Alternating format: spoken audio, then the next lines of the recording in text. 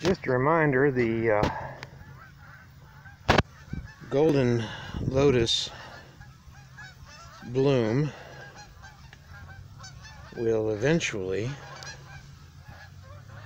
turn to seed. And that's hot over there. And we have lots of geese flying in today. Just lots and lots of them.